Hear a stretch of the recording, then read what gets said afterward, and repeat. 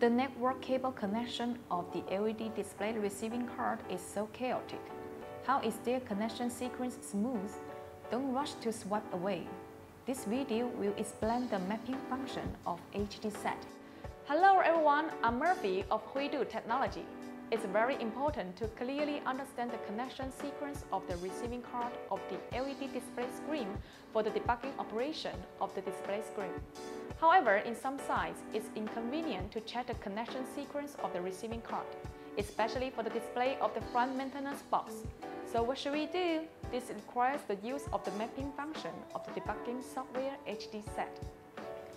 The mapping function is mainly for viewing the control position of the network port and the wiring method of the receiving card connected to the network port.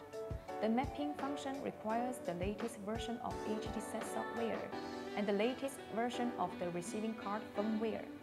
And the sending card needs to support the new process and the mapping function. Open HDSET. Click Firmware Upgrade. Enter the form bank interface.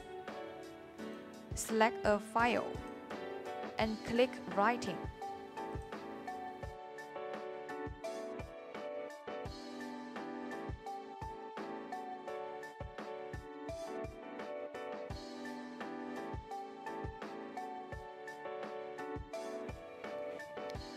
Before starting the mapping function, firstly connect the sending card and the receiving card, and debug the parameters of the receiving card, so that the area carried by the receiving card is displayed normally. Then enter the connection settings interface. Click the Start Mapping button. The LED screen displays the actual connection sequence of the receiving card.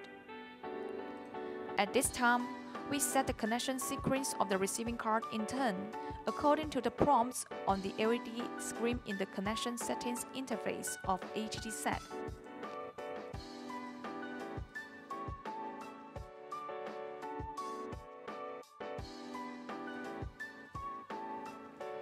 After setting the connection sequence of the receiving card, click Send and Querying button.